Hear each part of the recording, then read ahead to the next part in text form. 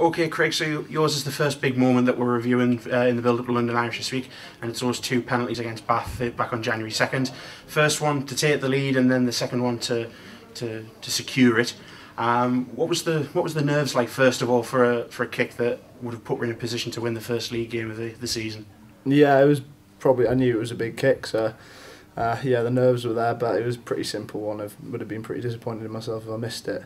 Uh, but yeah, I knew it was a big kick. It put us in the lead uh, and went on to win our first Premiership match of the season. So. And then that second penalty to take it to, to 1914. So what were the the thought processes behind actually going for the point rather than just getting the ball off the off the park? Yeah, well, there was a bit of time on the clock, um, so we needed to run the clock down before I took the kick.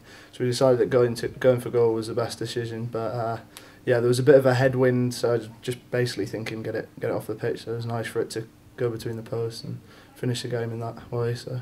And a big game on Sunday against Irish. What sort of big moments are you expecting in that one?